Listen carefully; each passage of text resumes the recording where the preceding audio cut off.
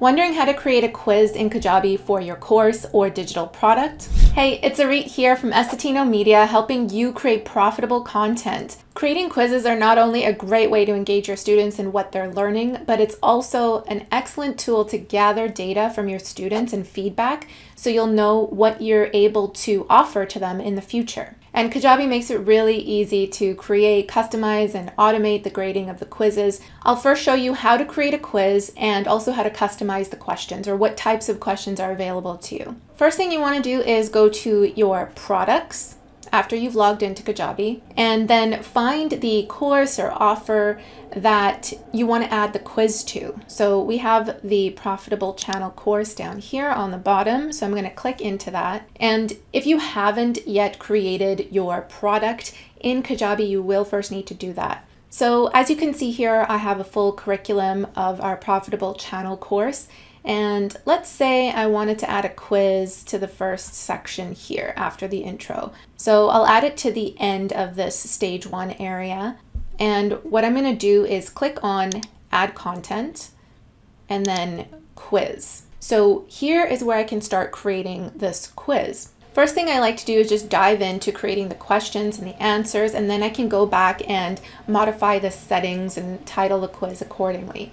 So here, you can see it's asking us to create the first question. And Kajabi allows you to create multiple choice questions, check boxes, short answers, even uploading files if you're asking for your students, for example, to show their work or to share a filled out worksheet with you. So as a rule of thumb, I find when you're creating quizzes that have multiple choice and check boxes in them, which by the way, you can have images as one of the multiple choice answers or check boxes, so that's cool too. When you're creating with these two options, you're generally quizzing them on what they just learned, right? And assessing their knowledge. So you would type in the multiple choice question in here, and then these are where you would create your options and you can create different options here. You can drag and drop the order of the options. If you wanted to add an image to an option, you could do that here as well. And then once you're done, you would click on add question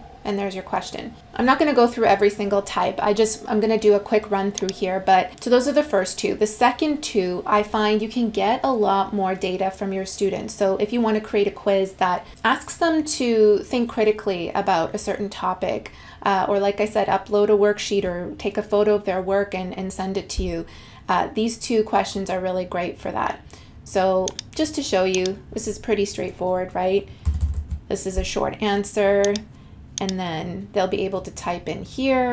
So I'm just going to add that question and you can create as many questions as you want. You can also click and drag and change the order of the question. See these little six dots? I can move things around easily. So that's the first step is coming in here and creating your quiz. So I'm just gonna hit save. And then the next thing I wanna do is come into settings. And this is where I can give my quiz a name, a description, and tell Kajabi what sort of automations do I want to attach onto this quiz. So I'm just going to put test quiz, and then you can fill this out here. I'm just going to scroll down. And here are the grading settings. So, so if you want the students to automatically see whether they passed or failed, which is typically good for those checkboxes, multiple choice quizzes, right? You can toggle this on right here. And then you would set the passing grade in terms of what percentage they need to, to get in order to pass. Over here, if you want students right away to see the correct answers after they've filled out a, multi a multiple choice or a checkbox quiz, then you would toggle that on. And you can also tell Kajabi to send out an email to the student with their score and the results of the quiz after they've completed it. So you could toggle that on if you like as well.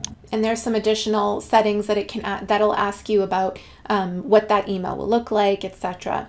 Here's the really cool part about these quizzes. You can add automations to these quizzes. So let's say the student has failed, right? Wouldn't it be cool to send an additional resource to that student or upsell them on maybe a one on one coaching session or a group coaching session to get a little bit of extra help. You can create this automation where when a quiz is failed, then you can, for example, grant an offer or, you know, register them to an event or send out an email or add a tag to them. This is really cool because you, you can then tag students and kind of see their progress in terms of how they're doing and offer them additional support. So I really like this part about the quizzes with the automations. With the tagging thing as well, you can even put them into an email sequence that just offers them more support about that topic and maybe nurtures them to get a one on one coaching session with you. The other area here is, well, hit save after you've edited all that stuff. And then the other area here is results. So over here is where you'll be able to review the overall results of the students who are taking your quiz. There's nobody who's taken this quiz yet, thankfully. Um, so there's nothing to show.